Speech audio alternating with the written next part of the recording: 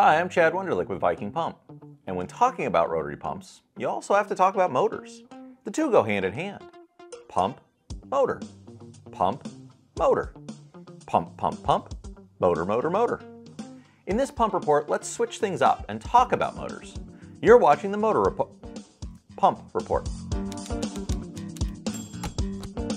Rotary pumps require a rotating power source to drive them. This could be a gas engine, hydraulic motor, or even a hand crank, but the vast majority utilize motors, specifically AC induction motors. Now to be clear, Viking Pump is not a motor manufacturer, so we'll only be covering basic motor concepts and how they relate to pump operation. Today we'll cover motor basics, speed and slip, the difference between single-phase and three-phase power, and motor frames. Let's start with the basics of horsepower, torque, and speed. Horsepower is a unit of measurement of the rate at which work gets done, or power. The term horsepower is literally an approximation of the power of a draft horse. This value was used to compare the delivered power of steam engines, and later electric motors, to that of horses.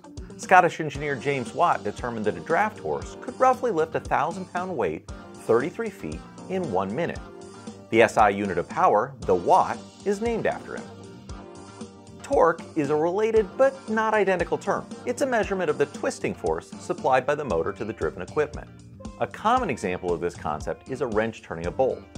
A force applied at the end of the wrench exerts a twisting force, or torque, on the bolt that is equivalent to the product of the force and the distance. Common units of measure are pound-feet or newton meters. It's important to note that unlike centrifugal pumps, Viking pumps are a constant torque load.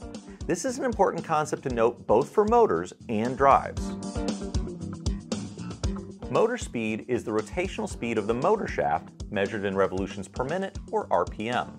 Motor speed is determined by the number of poles and electrical frequency, concepts we'll discuss shortly.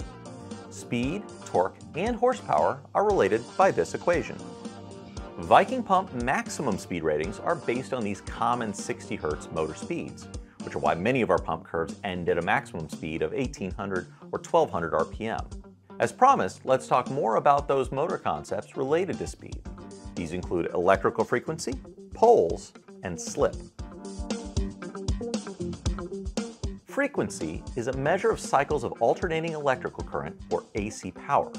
It's measured in units of hertz, which is a measurement of cycles per second. AC frequency varies from country to country.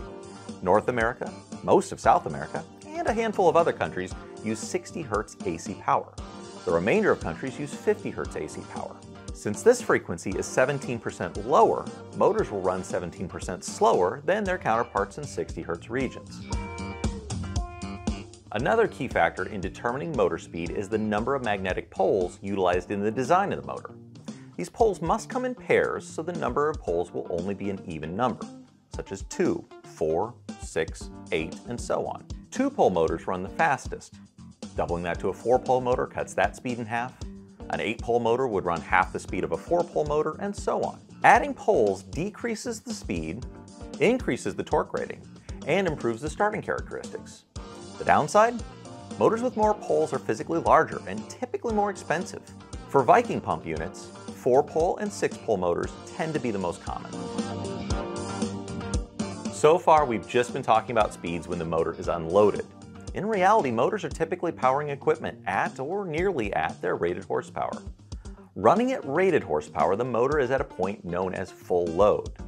Under full load, there is a difference between the motor speed and the magnetic field applied. This difference in speed is known as motor slip.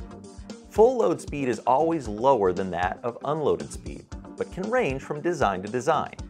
The motor nameplate speed will be the full load value for the motor. In an industrial setting, users often have access to two electrical power systems, single phase or three phase. Here we see the difference between these two systems. With single phase, a single current source provides all of the available power.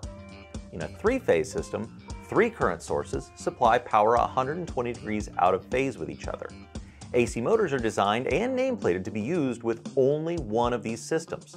So it's important to specify and select the correct motor based on the power supply. Single-phase motors tend to be small motors and are common for applications of 3 horsepower and below. Due to the location, it may be the only power source available. Three-phase motors are not limited and can be small or hundreds of horsepower. They draw less current and are more efficient than their single-phase counterparts. For these reasons, three-phase motors are more commonly supplied with Viking pumps. Motor frame is a term used to describe the key dimensions of a motor, such as the shaft diameter and the shaft height. This consistency makes sure that motors are interchangeable and mount correctly to associated drive equipment. NEMA is the most common standard in North America. Common NEMA motor frame sizes for Viking pumps are shown here. They are available with or without a C-face mount.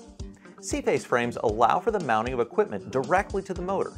This could be a C-face mounted gear reducer or a pump. To designate a C-face, the letter C is added to the end of the frame number. These frames come standard with a foot for mounting the motor to the base plate. The other common global standard is IEC, which is most commonly used outside of North America. It is different than NEMA in three key ways. First, the junction box is located on top of the motor as standard, instead of the NEMA side mount. Second, the frame number is only part of the designation. A motor mounting code is also needed to specify whether the motor has a foot, and the type of mounting face. Lastly, there are two different standards for flange faces, a larger B5 or a smaller B14. This is also important to check to make sure that the motor mounted equipment, like reducers and pumps, will fit it.